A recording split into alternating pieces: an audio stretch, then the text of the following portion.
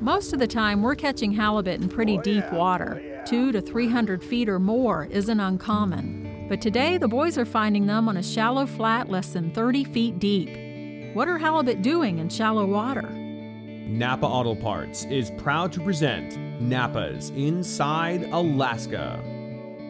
Everybody knows that salmon migrate to spawn, but what isn't widely known is that halibut also follow complex migration patterns. And because halibut are fairly difficult to study, there's some debate about how the migration really works. Most experts agree that Pacific halibut spawn from November to March near the edge of the continental shelf in waters up to 1,500 feet deep. Females lay 2 to 3 million eggs a season, depending on their size. The parents then return to shallower water to feed for the rest of the year. The eggs hatch into larvae and are swept west and north by ocean currents to the Aleutians and up into the Bering Sea.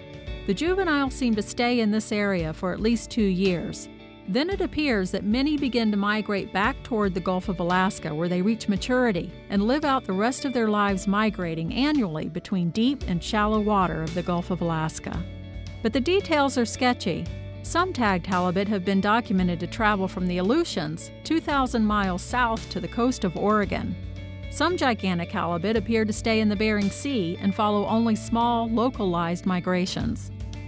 There's obviously much more for us to learn, but one thing's for sure the halibut in this shallow water are here to eat. Oh, he's going for the chip bag. That's a little better one there. Yeah.